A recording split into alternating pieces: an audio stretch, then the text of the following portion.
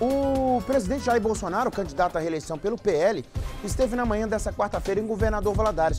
O avião com a comitiva pousou no aeroporto Coronel Altino Machado às sete e meia da manhã. Bolsonaro fez um breve discurso para autoridades e depois desfilou em carro aberto pela Avenida JK e ruas do centro da cidade, acompanhado por apoiadores e correligionários. Pessoas com bandeiras e camisas da seleção brasileira compareceram para ver de perto o candidato.